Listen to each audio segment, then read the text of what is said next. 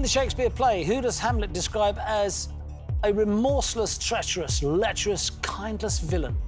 A. Claudius. B. Laertes. C. Polonius. You've put Claudius. Yeah, definitely on the guesswork today. Only one I've heard of, not my bag. Correct answer is. Yeah, well played, Claudius. It is. Step closer to home. Chase has put. Great guess, though.